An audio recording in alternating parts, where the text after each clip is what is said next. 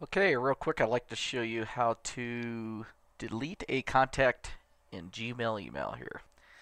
Just go up here on the upper left hand corner, click on Gmail, hit contacts. Okay, for example, I uh, just threw Joe Blow 1, 2, and 3 on here. And let's just say you can't stand Joe Blow 2. He's a pain in the ass so you want to delete them. So what you want to do is click the box. And then what you want to do is come over here to more. And then you want to hit delete contact. And there you go. You just deleted Joe Blow number two.